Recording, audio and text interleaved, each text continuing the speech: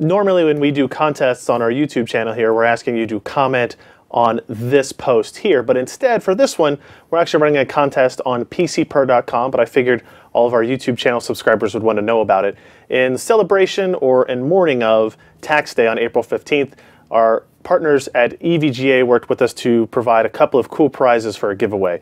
We're going to give away a EVGA Hadron Air Mini ITX case, as well as an EVGA GTX 750 graphics card. One person is going to win both prizes, and all you have to do is go to PCPer.com, have uh, find our post, and answer a quick survey. The survey has complicated questions like what is your name, what is your email address, and why should we love April 15th? We're looking for reasons to love April 15th instead of fearing April 15th. Uh, the short URL for this is bit.ly slash pcpercontest01, all lowercase.